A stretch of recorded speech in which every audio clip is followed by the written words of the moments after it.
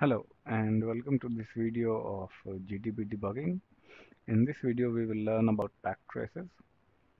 So I had said in my previous video that I'll show Cygwin and Windows setup of C programming but I will delay that video.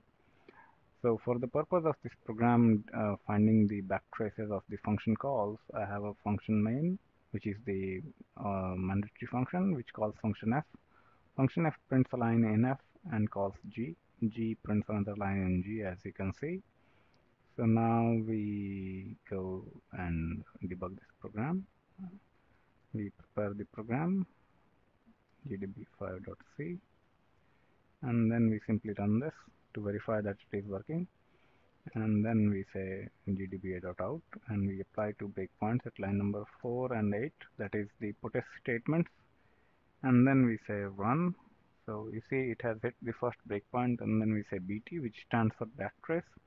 Or you can type the full command also backtrace. Hitting tab will auto complete it.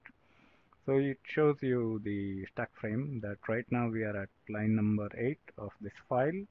And this was called by this uh, function main at this line number. Then we say continue. Now it is in uh, function g and we can see this so we are at this line number. It was called by f and f was called by main at so and so line number in so and so file. So this is very useful when you want to trace the call flow of a large program because uh, in a large program it's very hard to understand the entire source code.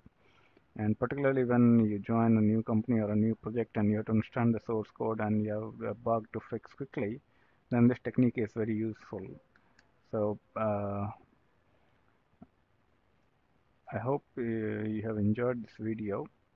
And uh, uh, if you have really enjoyed this video because it's a short one long ones you won't like then please hit the like button and subscribe the channel. Thanks a lot for watching the video